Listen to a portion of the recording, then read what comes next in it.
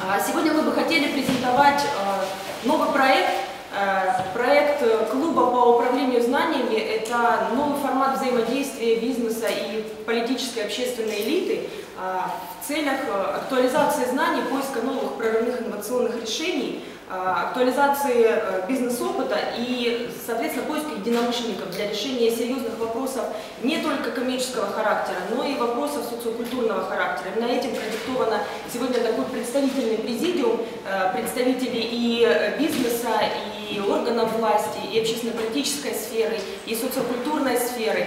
Э, Это действительно подтверждает, что тенденции к объединению усилий разных